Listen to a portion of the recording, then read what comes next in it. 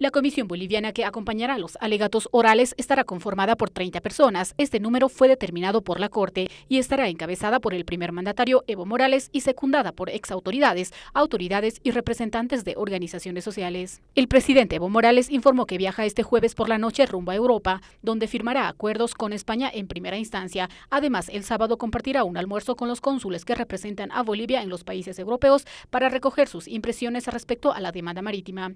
Luego participará de la última reunión con el equipo jurídico nacional e internacional en Holanda y finalmente participará de las dos primeras jornadas de las audiencias orales y posteriormente regresa a Bolivia. Recordar que las audiencias orales en la primera ronda serán iniciadas por Bolivia el 19 y 20 de marzo, mientras que el 21 de marzo será un día de descanso. La primera ronda de los alegatos de Chile será entre el 22 y el 23 de marzo. El 24 y 25 Bolivia afinará los detalles y el lunes 26 presentará su exposición final. El 27 de marzo será libre y el 28 Chile hará su última presentación. Además, el primer mandatario llamó a la población a una concentración el 19 de marzo en las plazas desde las 5 de la mañana y el 20 convocó a la Marea Azul con la bandera de la reivindicación marítima y anunció otras actividades como embanderar los domicilios para acompañar las audiencias orales.